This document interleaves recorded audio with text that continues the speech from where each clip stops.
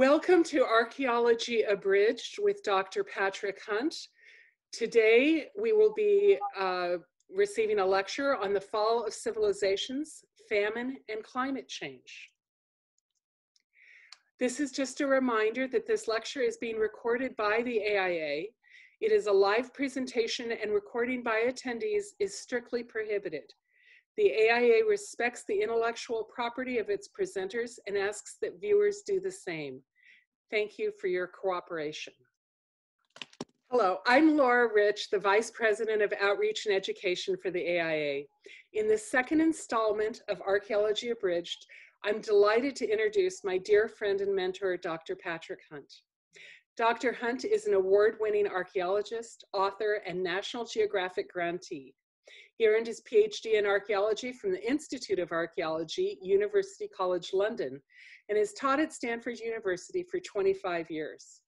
He directed the Stanford Alpine Archaeology Project from 1994 to 2012 and has continued project-related fieldwork in the region in the years since.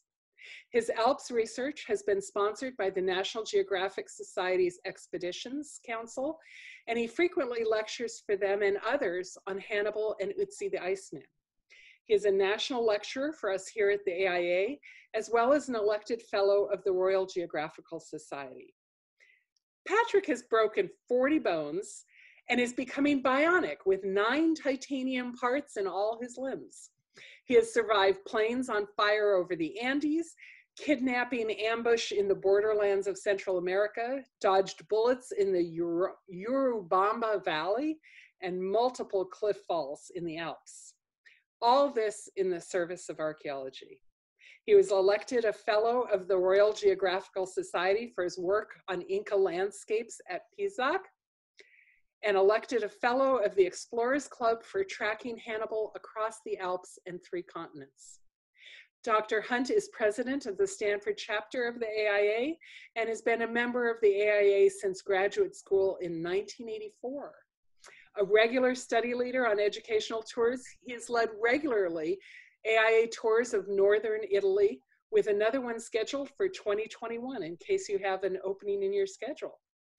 We are excited to be able to offer this lecture as part of a free series.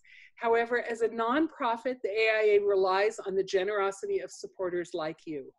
If you would like to support AIA initiatives like Archaeology Abridged, we encourage you to donate to the AIA through the website. We truly appreciate your support. And Patrick, it's all yours. It's always a pleasure and an honor uh, to be involved. And I'm thrilled uh, to be able to share a little bit about some research that has taken part of my time and energy uh, and enthusiasm for years, uh, decades, in fact. And I'm going to uh, move to share my screen here shortly. Laura, thank you for that fun intro. Now you can see that climate change uh, and the title, Famine and the Fall of Civilization, uh, is also going to be looking at the four horsemen of the apocalypse because famine is one of the four horses. And you can see a painting uh, uh, uh, uh of those four horsemen of the apocalypse uh, here in the image. so this comes out of uh, you might say religious prophetic literature, but it's really not prophetic only in the sense that history repeats itself. So what has happened before will happen again. Uh, so we can ask ourselves, what are the four horsemen of the apocalypse? Uh, now, uh, it's a vision uh, that the tradition tells us was the evangelist apostle John was taken up sort of on a journey a fantastic journey and uh, it's about the end times. So in that sense, it's eschatological, but it's not, as I said, just about the end times, because it's better to ask what were and are and will be the four horsemen of the apocalypse. That, as you know, the word apocalypse is something that comes out of what is hidden. Apo, out from calypse, uh, what is hidden. And when we think about that, this is the text, uh, the original text, from uh, the Apocalypse of John called the Revelation, chapter 6. And we have Albrecht Dürer's famous woodcut here with the four horsemen. And uh, notice that uh, other than going reading every word, uh, this is uh, uh, really germane to verses three and following, where it says, These horses came out. The first one you can see in verse two, a white horse. Uh, the rider held a bow, given a crown, rode out as a conqueror bent on conquest.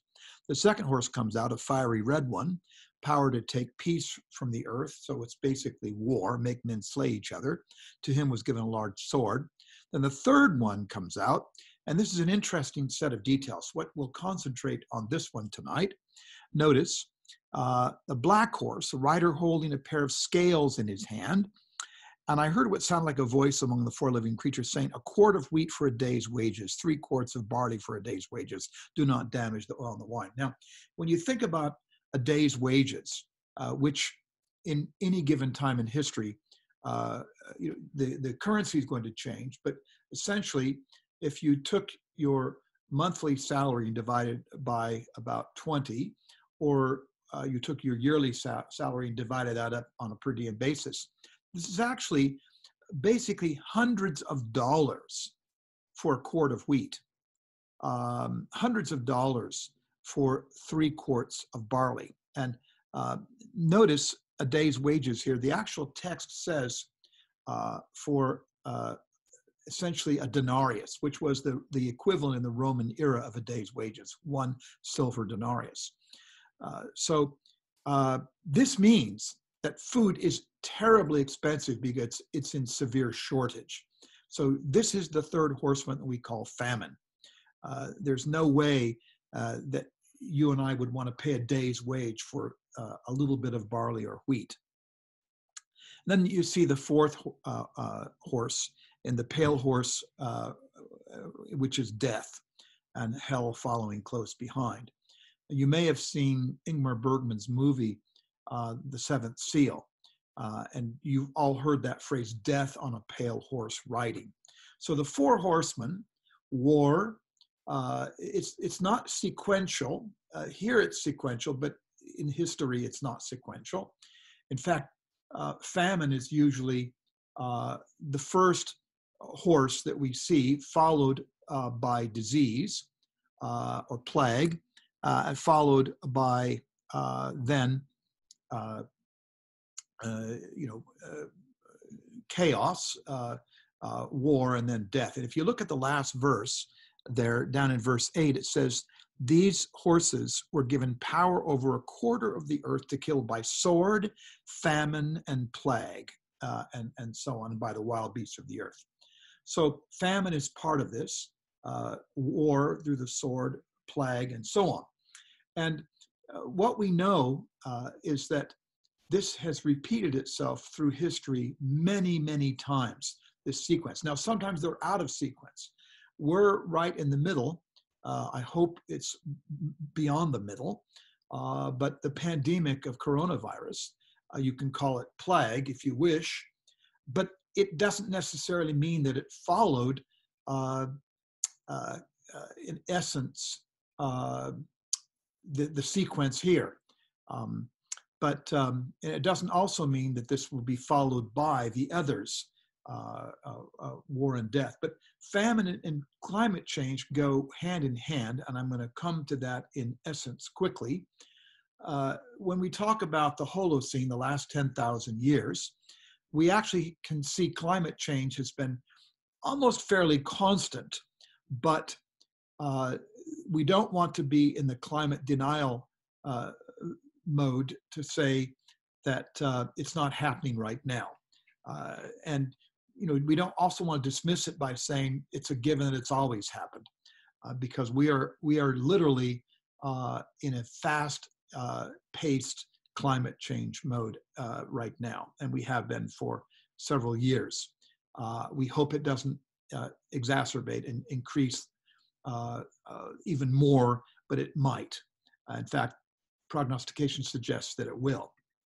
But so we saw that woodcut of Dürer, these four horsemen of the apocalypse, and uh, you can see uh, death on a pale horse riding down here, and you can see uh, the sword here, which is war, uh, and you can see famine here with the scales, and this this uh, one with the arrow being shot.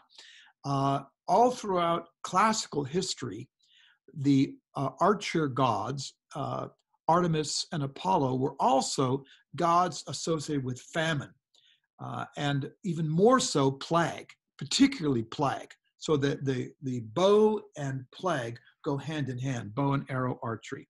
Um, and you can see uh, here the way that Dürer has interpreted this story. Now, some of you have seen this in the Palazzo Abatellis in Palermo, Sicily. This is death on a pale horse riding. And it's interesting because uh, these are uh, basically the whole panoply of civilization. And you can see kings and popes and prelates and uh, sultans, etc., uh, leaders down here. And you can see wealthy aristocrats over here. And notice there's an arrow that's just sticking in the neck of that lady. And she's just, her eyes have just uh, turned to it because it just struck her. And you can see the other people are generally dead from these arrows. Uh, and these people see something coming. Their eyes are turned toward this, but it hasn't hit them yet. And notice there's a dog barking furiously over here, too. Uh, but then there's a group of people over here we want to look at. And the horse of death is almost as skeletal as death himself. And notice the bow, we'll come back to that shortly. But death has passed by, and yet, look, this is a group of the living over here. Let's take a look at them in a close up, shall we? We have the artist himself. He's holding his brush. He's anonymous. We don't know uh, the artist's name. We just know it's a he. But I want to point out something really interesting. There are some anchoritic monks.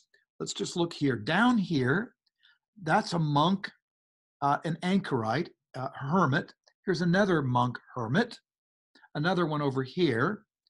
We have some hermit monks then we have a person, and notice the hands are wrapped and there's almost something missing. That person is a leper, but he's spared the pale horse death riding. And you have other individuals who are spared. And I want you to notice these two individuals appear to be wearing Jewish prayer shawls, known as the tallit. So, what's significant about this picture is that death has passed them by. Why? Well, because the leper is in isolation. The monks, hermits are in isolation, and they are practicing quarantine.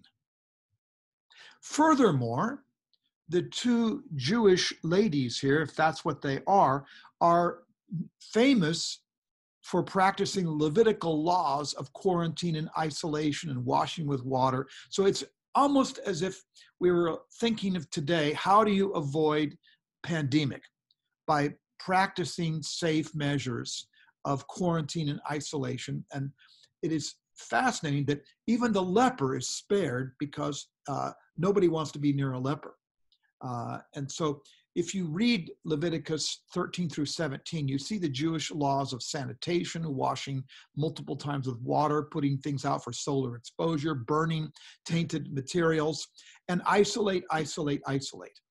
Uh, so uh, it's fascinating that this picture by the anonymous master of death shows plague coming, but sparing some uh, because of their isolation. Now, uh, we can look at global climatic data in so many ways sea surface temperature, leaf area index, snow cover, night land temperatures. These are fairly recent in the last few decades. Uh, we can you know, see the flux between night and day. We have a lot of satellite data. Now, here you're over the Amazon, and notice you have huge swaths of land cleared. And I can tell you, uh, you probably know this, that deforestation causes uh, certainly rising temperatures in a lot of places.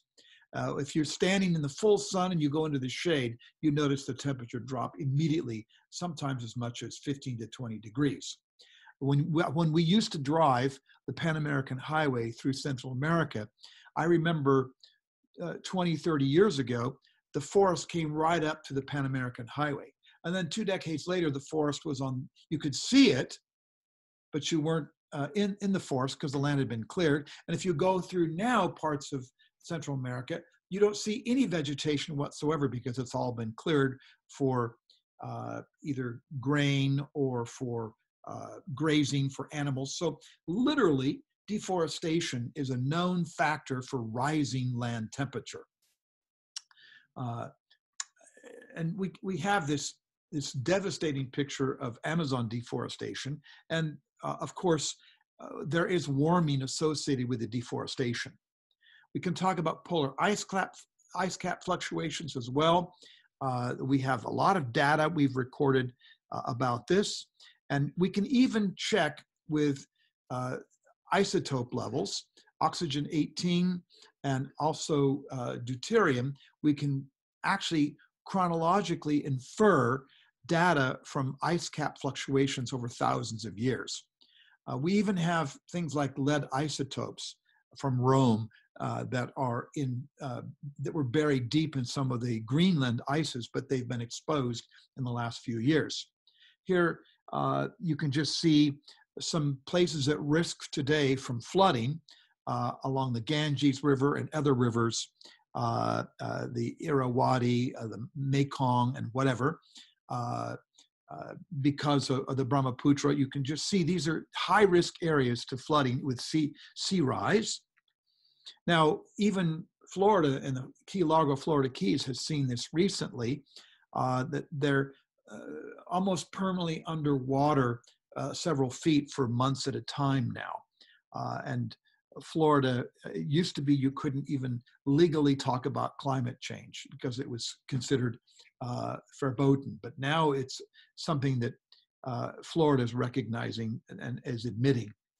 So I fly over Greenland a lot. Uh, I haven't this year, uh, but um, this is a picture I took a few years ago, and I always ask the flight attendants to, to alert me when we're coming along a specific flight pattern because you follow the the uh, the flight control paths and they're pretty much similar. You don't deviate much from those paths. And when we're over a certain latitude, longitude, I always ask for notification. So this is a picture I took in 2017 in September. And then uh, uh, a year ago, this was the same exact latitude. And the ice caps, the ice of Greenland is definitely uh, melting at an incredible rate. I, I think some of you know that uh, a year ago, uh, a billion tons of ice melted in a single day uh, in uh, the Arctic, which had never happened before in late fall. Now, one of the projects I work on is Ötzi, and uh, for anyone who doubts climate change, I'll come back to this.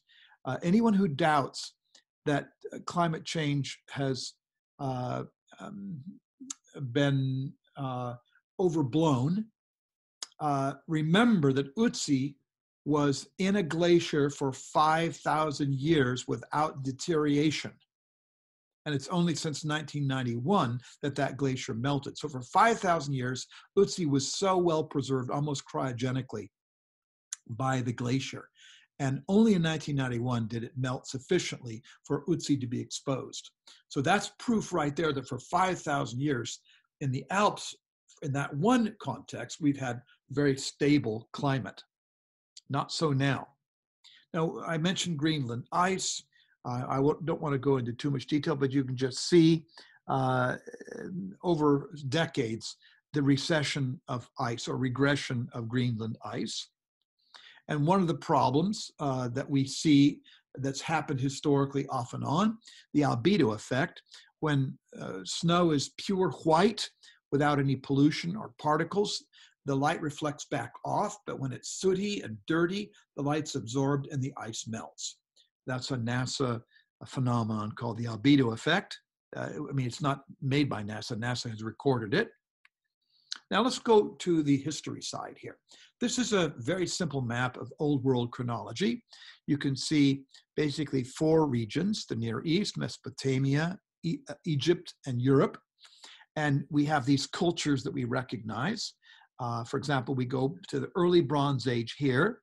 Uh, so, re- relatively speaking, from 3000 BCE to about 2000 BCE.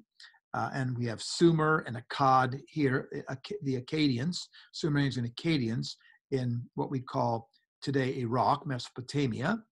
Uh, so this would be essentially the rest of the Near East, including Anatolia, Turkey, you know, Turkey and, and the Levant.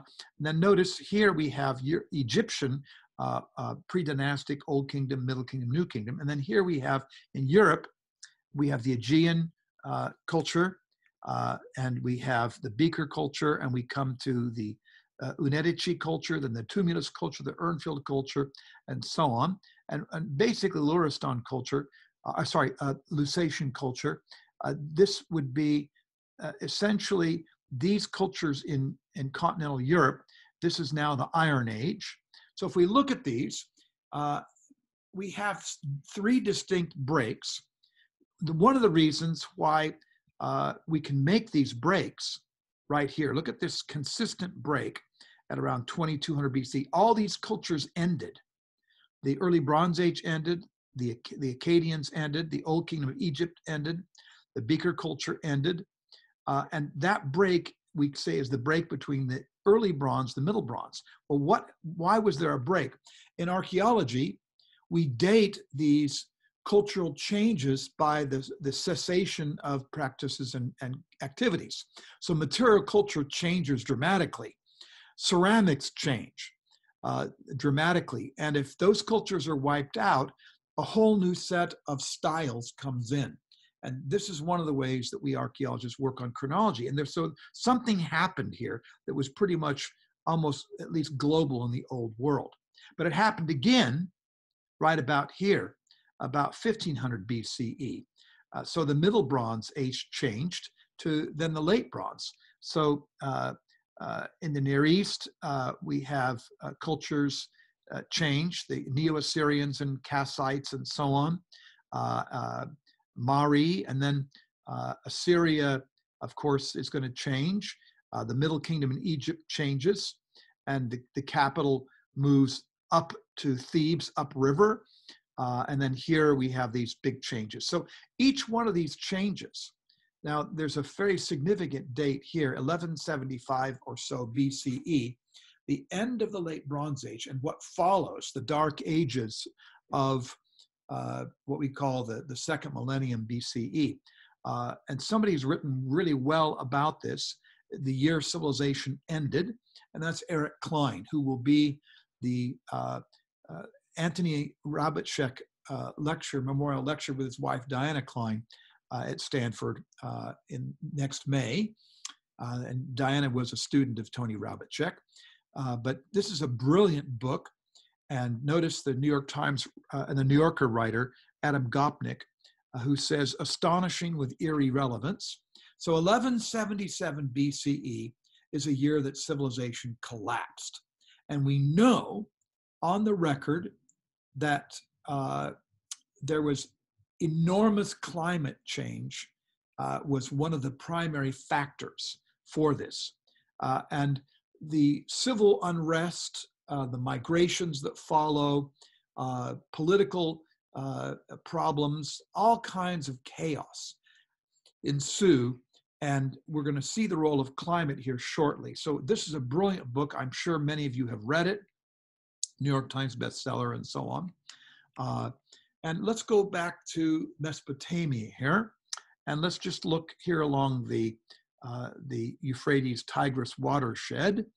And some of you may know that uh, seven or eight thousand years ago, what we call uh, today the Neolithic period, uh, the monsoon winds used to come all the way across.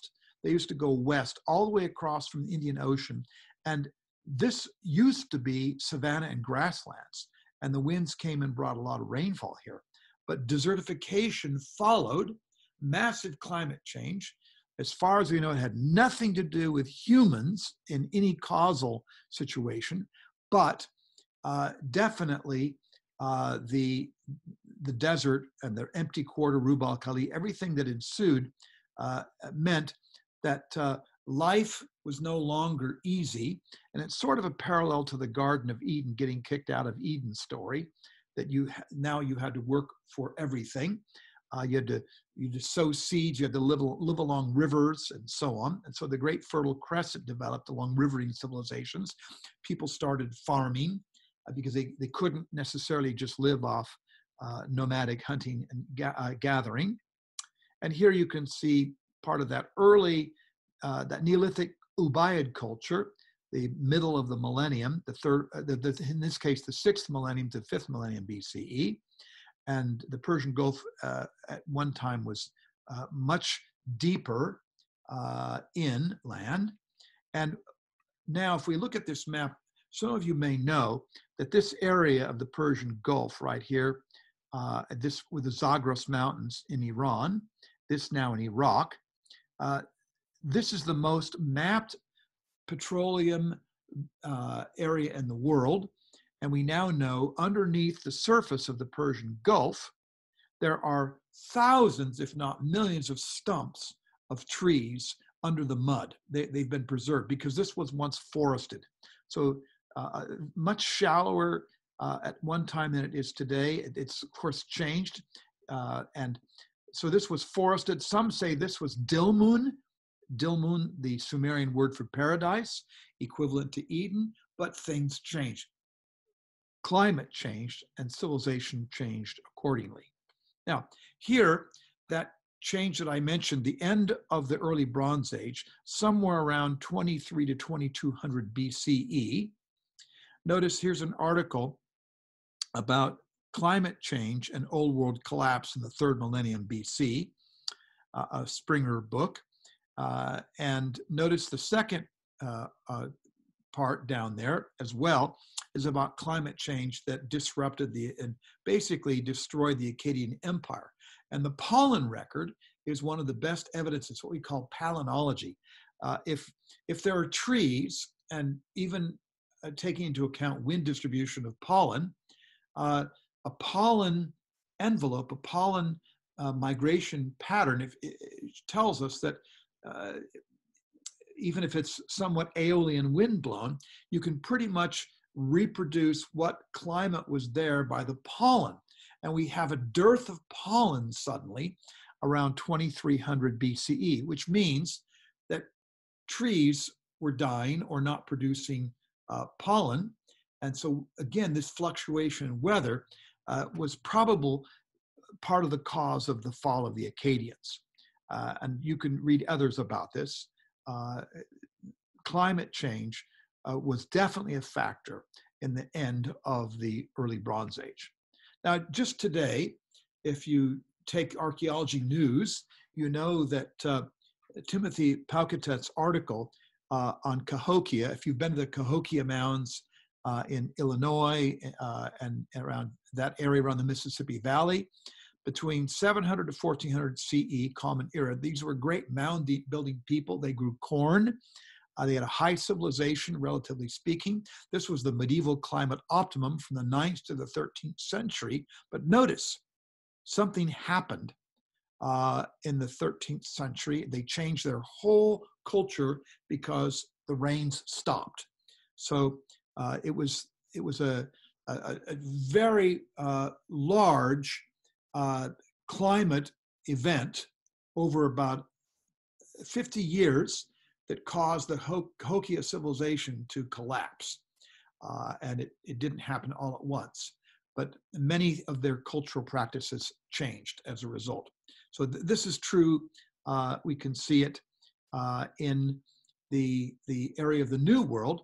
And uh, of course, uh, in a book I wrote last year on archaeology of the Bible, chapter 10 is on these four horsemen of the apocalypse, uh, where I talk about, of course, climate change, and then followed by famine, followed by malnutrition, followed by malnutrition leading to disease, and autoimmune systems being uh, hammered, and then disease followed by chaos, uh, war, people competing for the same resources, and death.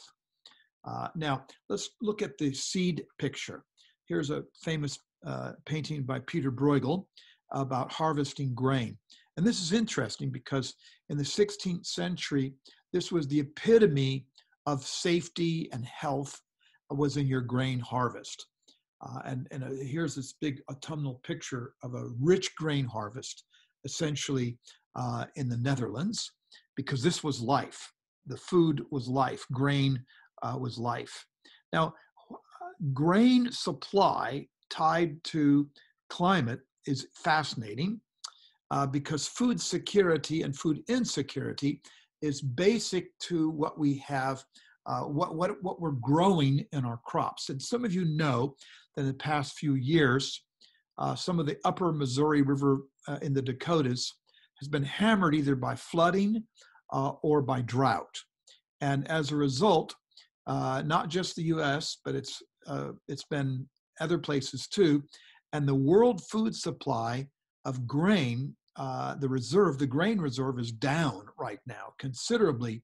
It's probably uh, 50% of less of what it was uh, uh in 20. Uh, it was, let's say, in 1975, it's probably dropped uh, an enormous amount of grain reserve in those ensuing decades. So let's talk about grain and what you do and your harvest. So this is a, uh, a graph I produced uh, for an article I wrote on climate change in, in early 2009. So how ancient civilizations can collapse with climatic perturbances. And we call this the principle of diminishing returns. I say we, I, am not saying I've invented it. I'm sure other people have used something similar. But if you talk about grain values in bushels, if you talk about a perturbance, either drought or flood, let's assume that, uh, let's just grab some numbers out of the air. It's by no means the given that you, all your crops are going to yield this this amount but let's say you your farm produces 100 bushels of grain in a normal year.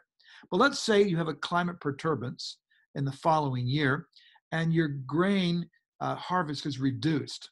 Now this is assuming only a 25% drop in the the normal year to the first bad year so if you have a, a, normal drop of 25%, that may not heavily impact you. Uh, but what you always do, you usually reserve at least 10% of your seed. You don't eat it, you reserve it for planting the next year. So if you have a if you have a crop yield of 100 bushels, you plant 10 bushels of seed. But then you only yield 75 instead of 100, so it's not a one-to-one yield. And now in that second year, you're a little impacted. Uh, you have uh, 25% less, but you are still going to only probably plant 10%. So this time you only plant seven and a half bushels for seed.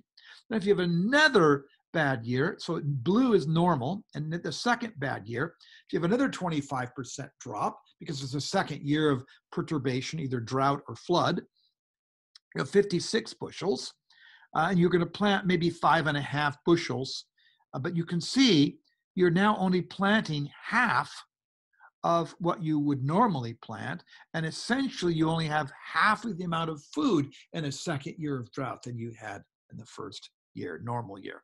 So now malnutrition is beginning to affect the very young and the very old. The population's likely uh, decreasing faster than increasing. And you have to think about livestock, the, the huge farm animals that you farm with and you plow with and, and so on, uh, they're going to be affected. So your your farm livestock. So if you have a bad year, three bad years, that's really bad. Uh, assuming only a 25% drop, what do you plant? You know, four bushels, uh, four bushels instead of 10. I mean, you're now down to less than half of what you would normally have. Well, this diminishing returns idea is assuming only a 25% drop per consecutive year. But probably it, it, there's there's a likely compounding factor eh, of 25% year one 33% year one to year two 40% year two to three so uh, it's more likely now that you're having severe malnutrition and malnutrition uh, is going to definitely yield uh, a, a, an immune system deficiency famine sets up malnutrition, which sets up weakness uh, and sets up uh, essentially dangerous levels of uh, possibilities for uh, uh, some kind of uh, disease that you could have. So in this case, in this particular scenario, climate change yields famine, which yields malnutrition, which yields disease. And essentially, this is the pattern that we see throughout history again and again and again. Uh, now, so the four horsemen apocalypse, we, we, we said it's not just the future, it's also history. In fact, it's it, it's not a one-time event, it's all throughout history. So it's really what were and are, and we have to assume will be in future. I don't want to say when. So we've already seen this. So famine leads to, well, climate change can lead to famine. Famine can lead to disease. Uh, disease can lead to war and death.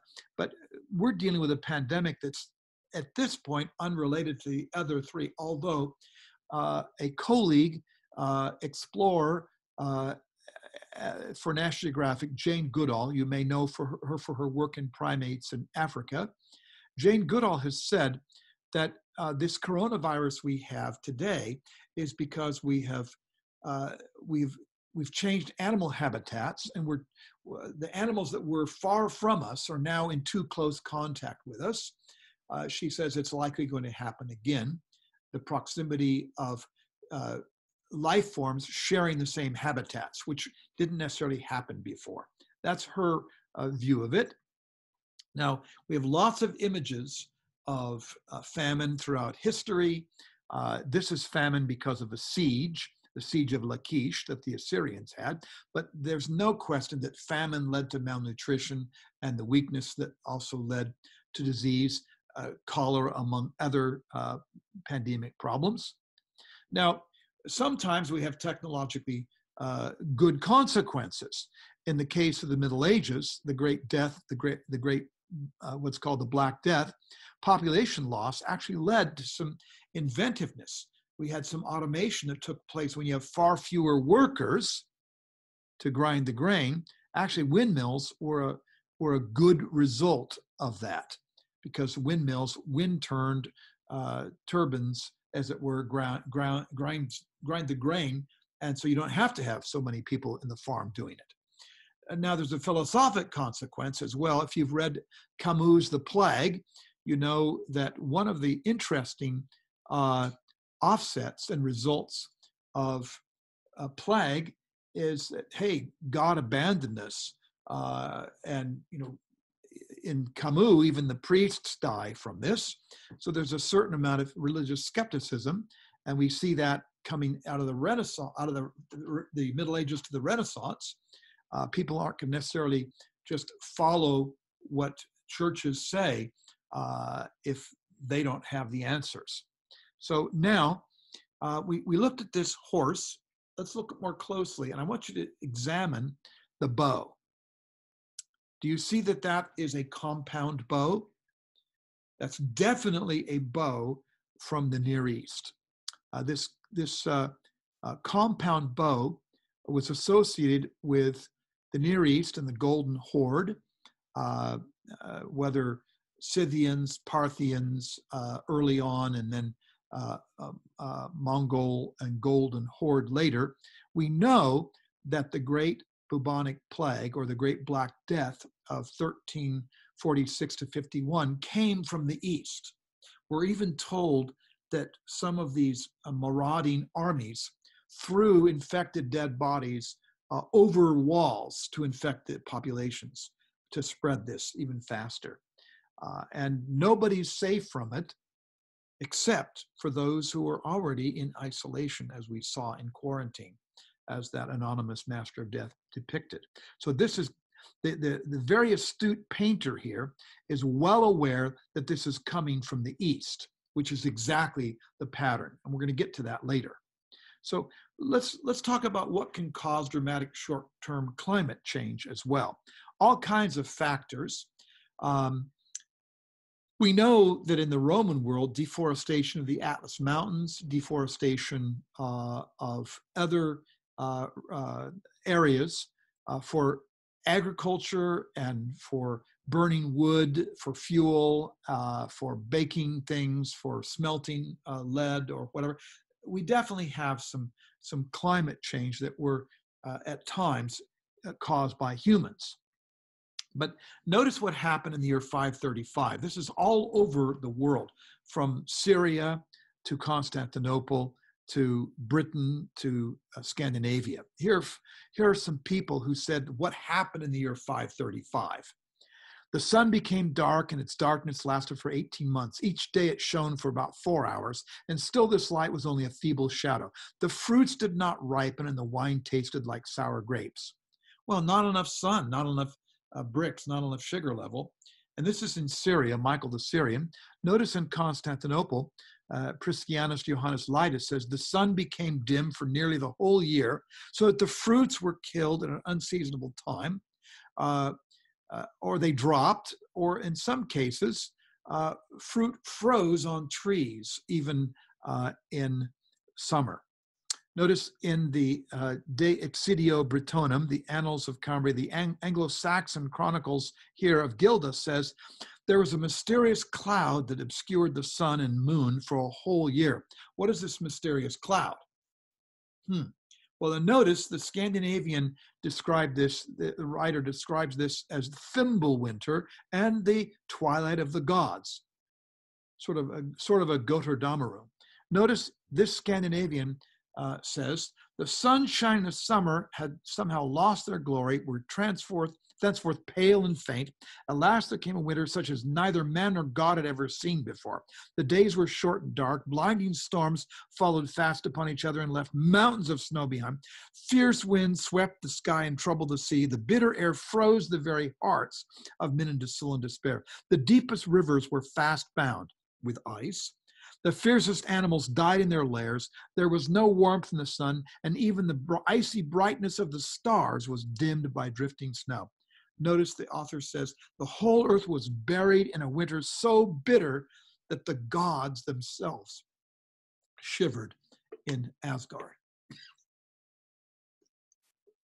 This is described everywhere. And by the way, it happened in South America too.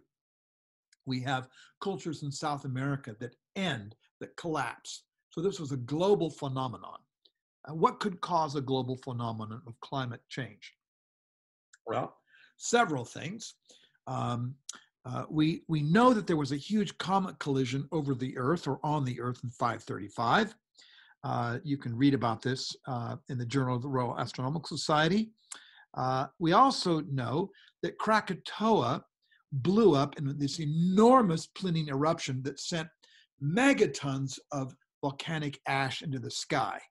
So this is probably the source uh, of that. And we also have from accounts of Chinese historians uh, from uh, basically Song and Tang dynasties. We, they record all these volcanic eruptions in Indonesia, not just Krakatoa, but along Java, the ring of fire of the Pacific of, of volcanism, uh, the huge tectonic boundary. So uh, this tectonic repetition, this cataclysm, put an enormous amount of volcanic ash and dust in the sky, which obscured the sunlight. It, it mitigated, it reduced sunshine dramatically. Uh, it, it was multiple events. It wasn't just one volcanic eruption, it was multiple, and it was also likely this huge comet collision uh, that uh, uh, put an, an, an, enormous amount of spicules of silica basically volcanic glass spicules into the atmosphere. Now, here we have a bioarchaeology uh, in the Pax Britannia, about the time, the, the, legendary fall of Arthur. Uh, the Pax Britannica, uh, this is Baillie's slice through time looking at dendrochronology. So looking at tree rings.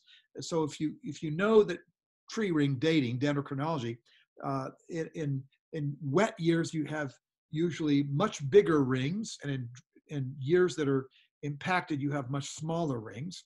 And notice that we have on uh, several different plants, we have oaks and we have uh, whitthorn. Notice that right here, there was an event plummeting.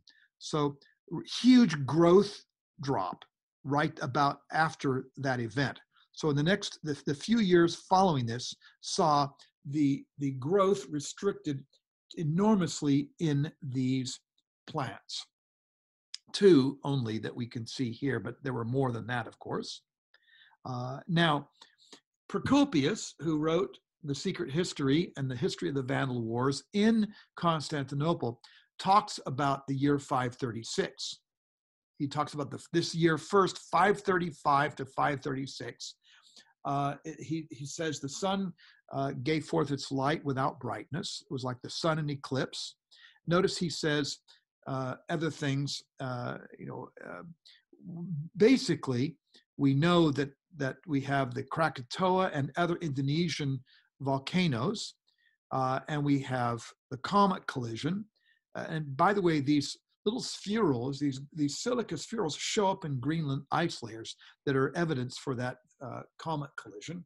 So essentially, he's repeating what we already saw from the Syrian, Michael the Syrian, uh, and Priscus. And what happens right after that, within the few years after the fact that the fruit froze on trees and there was no sunshine, plague hit Constantinople from the east.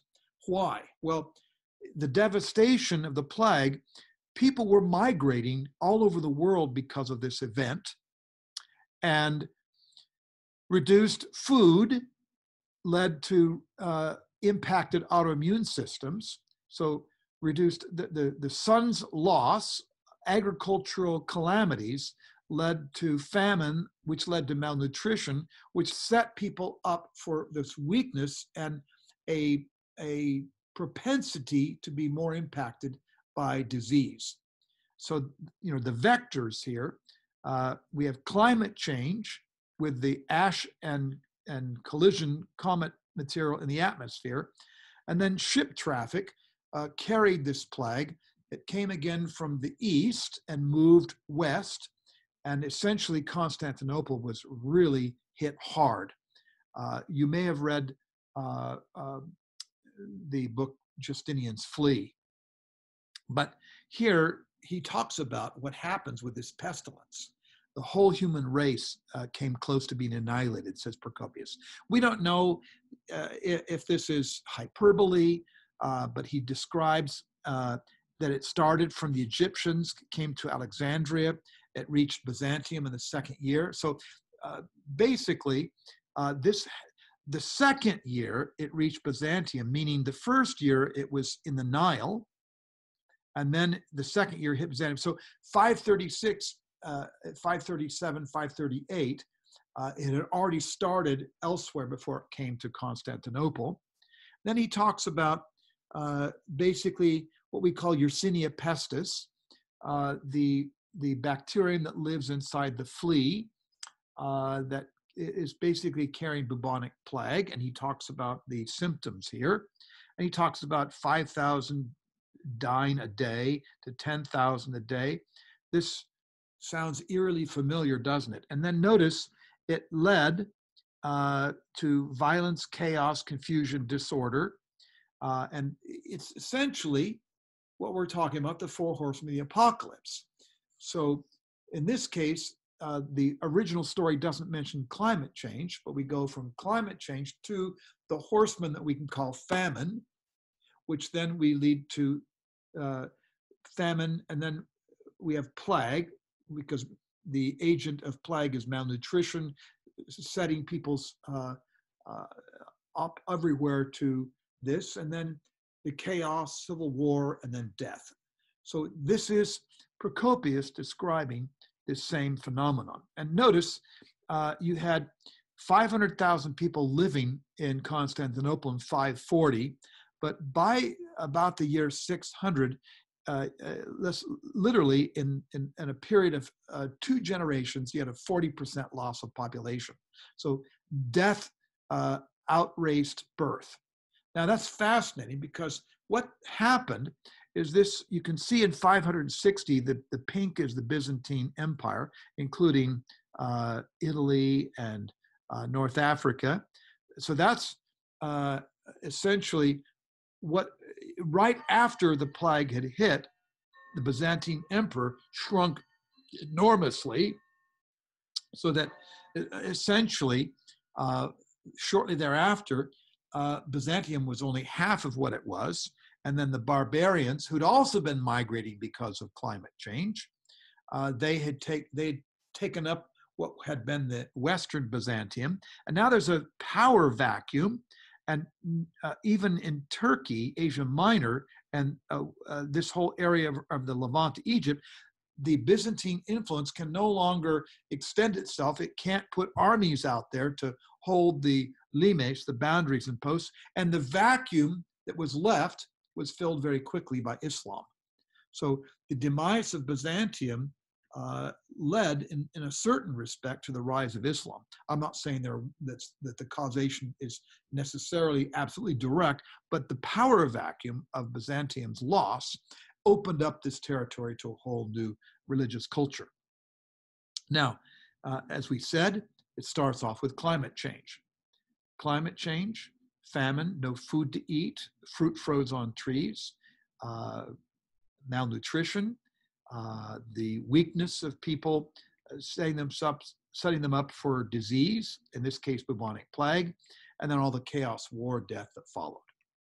Now let's move forward from essentially 700 years. Uh, after Byzantium uh, lost control of uh, the Mediterranean, at least the West, let's move to about 1300 or so. Now, this is temperature variations. Uh, the, in the Alps, we have three latitude studies of alpine snow depth.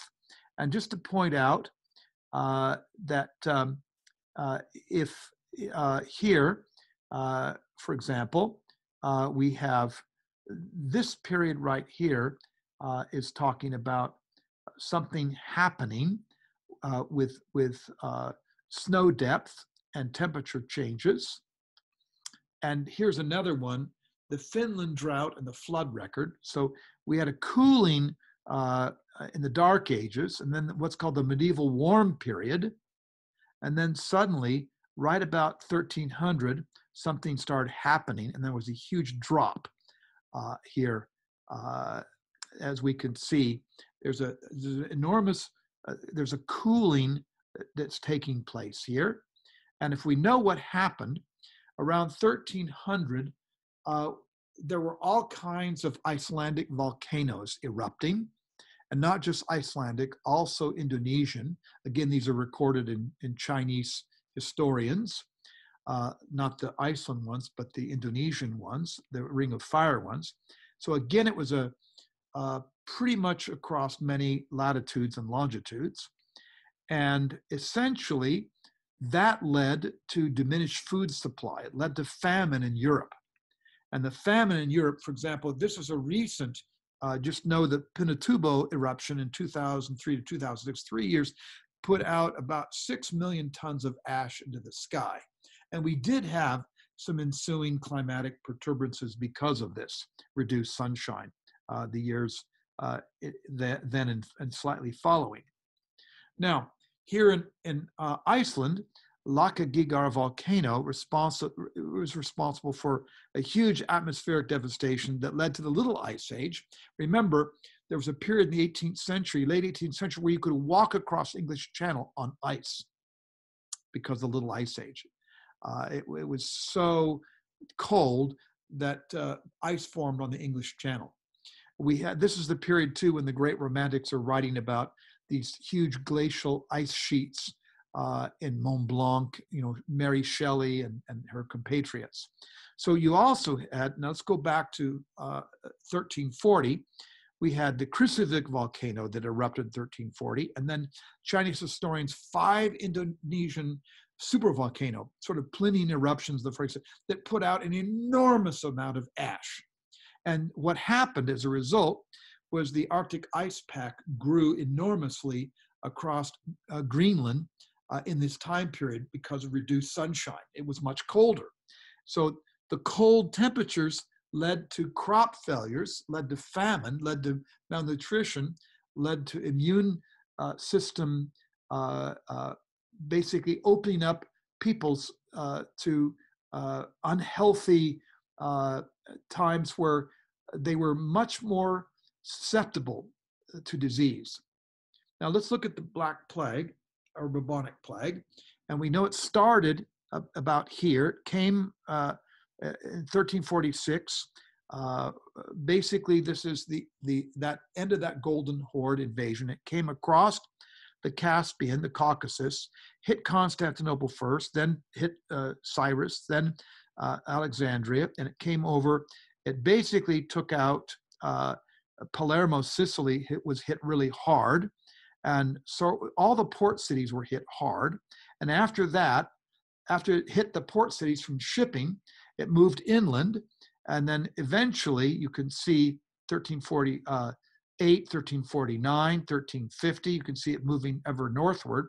Uh, of course, uh, you know the plague was really bad uh, in certain places. Some suspect uh, that possibly up to 50% of the Scandinavian population died uh, in places uh, like Halmstad, Oslo, Bergen, and Trondheim uh, because of the plague. And, and hence that movie, Seventh Seal of Ingmar Bergman, that describes this. So the at advance year by year led to huge devastations. We have, for example, whole funerary islands in the Venetian uh, uh, islets uh, where we can see bubonic plague, where they just were buried by the thousands, uh, these bubonic plague victims. Uh, and that's where you have Dr. Pestis, Dr. Pest, that mask.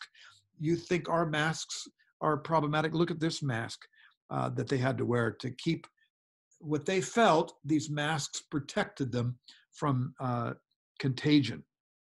Interesting, uh, because of the Jewish sanitation laws, the ghetto of Venice had a far lower rate of infection because they practiced sanitation, quarantine, cleansing, washing everything, burning of material. And in some places in Italy, the Jews were persecuted and slaughtered because they were felt to be in league with this disease because they were protected by following their Levitical laws. What a what a horrible uh, result for uh, being uh, you know taking good care of themselves with good sanitation and hygiene. Uh, I don't want to talk about modern corollaries about you know people who refuse to wear masks, but um, you know to scoff at something that is airborne is really stupid. Uh, now, uh, in St. Martin's Churchyard in Basel uh, uh, two years ago, I was working uh, there, and it was interesting because there was an excavation of the churchyard, and there were literally bubonic plague victims that had been buried in that churchyard from easily six or seven hundred years before. Uh, and uh, uh, you know you know, sometimes you're a little cautious about touching those bones. But um, plague victims, there are whole trenches filled with plague victims from the mid 14th century, from 1346 to 1351, because of the, the fact that it just decimated between 25 to 60% of the population in different places, localized differently, and not everyone was affected the same you may recall Boccaccio's Decameron, the 10 days of isolation that these aristocrats fled to the countryside to tell these tales, essentially because of that plague. There are so many stories about it. European artwork is filled with death references from this time period in the 14th century as well. There's so many images of skeleta in medieval uh, uh, uh, manuscripts. Now, I want to jump quickly to what's going on right now. Uh, I spent a lot of time in the Alps, and this is the Gornergrat Glacier. And uh, this is it. I'm standing, I took this picture at 9,000 feet. And you see this vegetation right there? You can tell glacial regression's pace by looking at what regrowth happens. And these are new trees right here. And they're essentially, some of these trees are only 30 years old. Uh, and but but in, from here to here, this glacier has receded essentially in 30 years uh, a quarter of a mile. Ah, 30 years, a quarter mile. That's that's a lot of glacial regression. We can date it. I study lichen. Some of you know that lichenometry, and we look at when lichen regrowth starts on the rocks, and we can date that as a chronometer, particularly what's called the map lichen Rhizocarpon geographicum uh, and its other corollary Xanthoria elegans. So we can date by lichen uh, glacial regression, and we can also use it for an archaeological chronometer.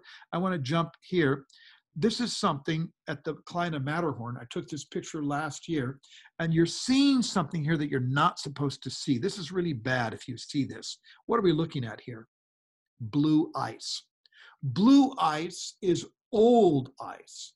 It's thousands of years old, uh, and it's blue because of the light trapped in there and the way that really, really old ice gets extremely consolidated. So if you're seeing blue ice, that's bad. That means you're seeing something that's melting fast.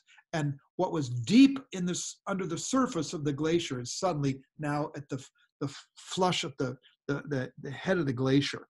So all this blue ice here means it's super, super old ice that's suddenly exposed uh, and fast melting, and that is bad. That's what's happening in the Alps. In 25 years, I've seen about a mm, at least a 20% loss of glaciers. Uh, and my friends have tracked this, and we who work at National have tracked this. Something really bad happened in 2018. Uh, I'm going to go there the the I was at the head of the Rhine River and the head of the Rhone River. Now there are many different heads, but I was at the sources, multiple sources of those rivers, and there was just a trickle. There was no snow, and so as a result, the Rhine River and the Rhone River really, really went dry. And look, you're standing on the edge of the the Rhine River in Cologne, right here. This is Cologne, and look at this. This isn't normal right here. And same thing along here along the Rhine River. It was so dry that on a National Geographic uh, wine cruise I was uh, leading as an ex- expeditions expert, we had to get off the boats because there was only nine inches of draft in the Rhine River. So we, we had to get off our Rhine cruise and uh, go by bus. This happened all throughout the Rhine River. Uh, that the, the cruise ships couldn't go because the river had dried up. And then notice this is also something happened. You may have heard about the hunger stones in the bottoms of some of these rivers, like the Elbe River or other rivers in Germany. They have these markings on the stones.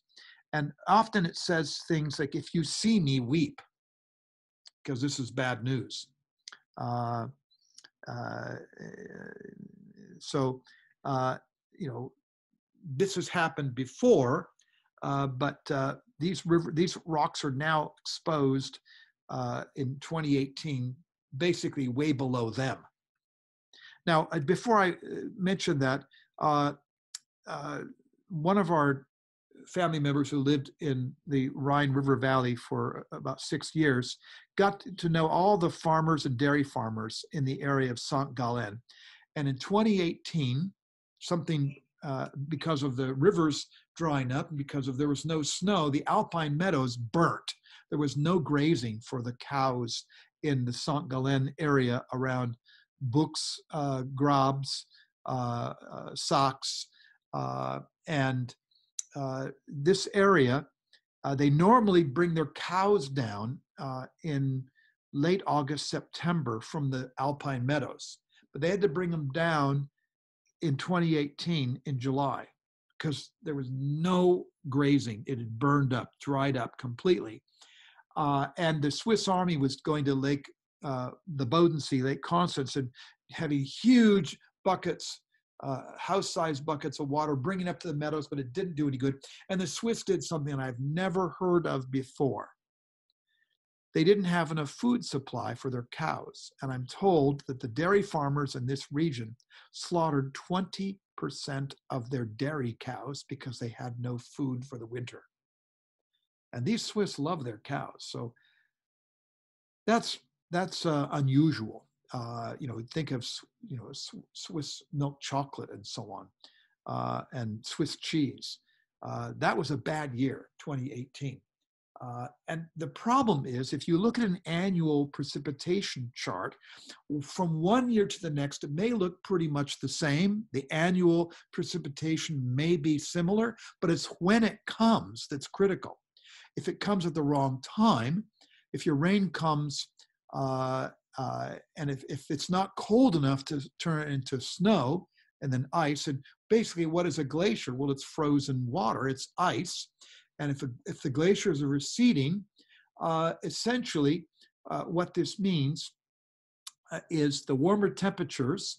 Uh, and if the land is too warm, the rain falls and it won't turn to snow, or so it doesn't count as as as snowpack water for irrigation, farming, uh, drinking, and so on. And if it comes at the wrong time, again, if the rain comes uh, uh, at at a time of the year when it's not snow converted, it'll just run off. And so that's why you can't just look at the volume of precipitation per year. You have to also look when it hits, when it comes. Uh, you can have all the snow melting in February if it's too warm. Anyway, I don't want to go into too much detail, but uh, now I've spent a lot of time working on this, so I'm going to go back to Ötzi very quickly. As I said earlier, uh, when you look at the glaciers and you look at all the reduction in the common uh, you know, right now, uh, this this permanent glacial ice zone is definitely reduced, and essentially right now we know this is why China built the Three Rivers Dam a few years ago because the Himalaya uh, glacial melt was so heavy. And think of it: 50% of the world's population lives in Himalaya uh, glacial watersheds. So the Mekong, the Irrawaddy, the Brahmaputra, the Ganges, the Yellow, the Yangtze, and so all these rivers where half the world's population live. So now Ötzi. Uh, Ötzi was literally in a glacier for 5,000 years. That means that there was very little fluctuation in the last 5,000 years. It's the glacial reduction sense that we can measure so acutely. So there's evidence for anyone who may uh, want to deny uh, climate change. If Ötzi had been exposed at any time in that 5,000 years, we wouldn't have Ötzi today. He was perfectly cryogenically almost frozen uh, for those 5,000 years until 1991. Now, I want to kind of draw this to a conclusion. This earth that we live on uh, we're not always the best stewards of it. Um, right now, as we speak, with rising uh, uh, marine uh, water temperatures, we're seeing more hurricanes. We're seeing much more extreme weather uh, than we've seen perhaps before. And maybe we've been lulled in the past few hundred years. Maybe the climate change in the past few hundred years, uh, maybe maybe normal wasn't really normal maybe we were lulled by its stability.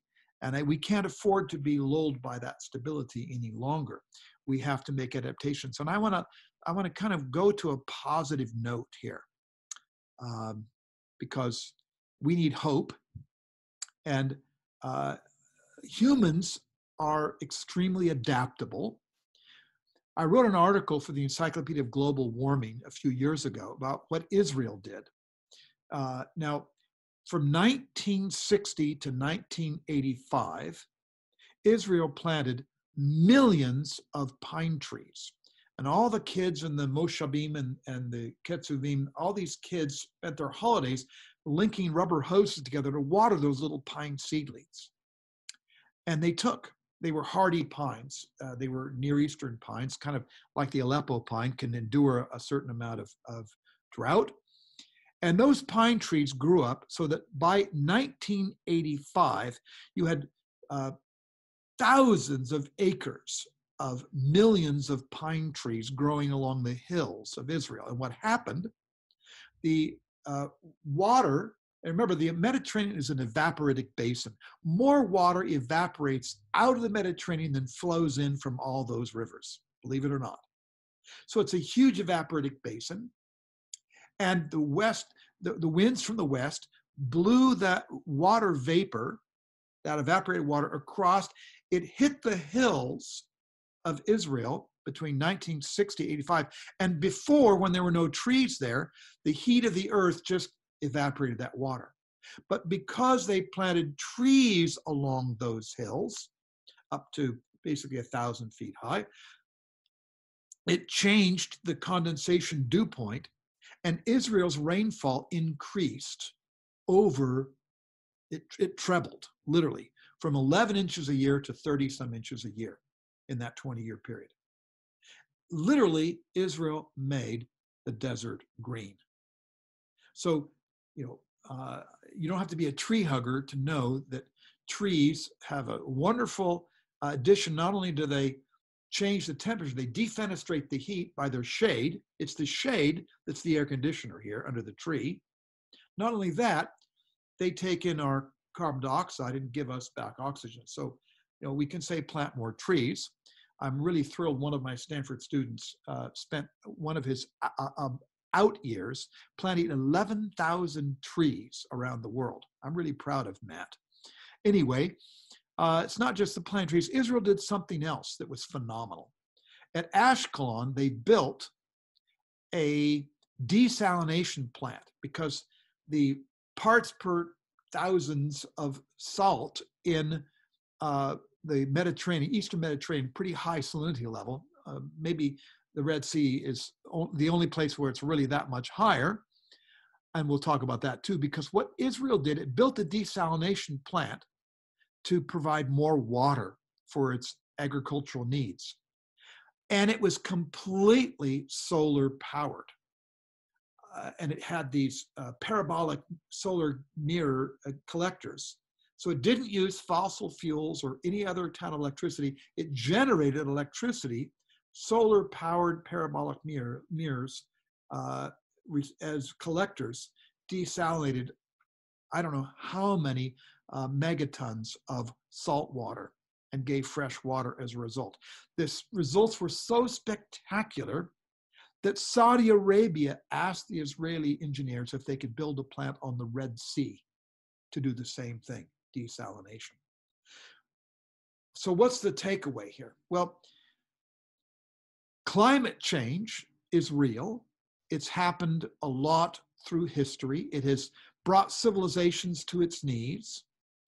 Uh, we measure as archaeologists the end of the early Bronze Age to the Middle Bronze Age by climatic catastrophes uh, that changed civilizations. We measure the change from the Middle Bronze Age to the Late Bronze Age by, again, climatic catastrophes. Uh, think of, for example, a, a, catastrophe like the eruption uh, of uh, the island of Thera uh, somewhere at the end of the Middle Bronze Age and near the beginning of the Late Bronze Age. Was this a precipitating factor to the loss of Minoan civilization? Many believe that it was. Uh, uh, the sort of Atlantis that Plato may describe in the Phaedra, where we know that uh, Spyridon Marinatos, you know, uh, Spyridon Marinatos excavated in Amnisos harbor in Crete all the remnants of the Minoan fleet that were destroyed by the tsunamis from the eruption of Thera. So they kind of lost their thalassocracy, many believe. So climate change, from whatever perturbances or catastrophes happen, can lead to civilization collapse by those four horsemen of the apocalypse, famine being the one that we're really concentrating on here. But the famine leads to susceptibility to disease by malnutrition. So, wherever we stand today, here we are in a standalone pandemic, the coronavirus, but is it?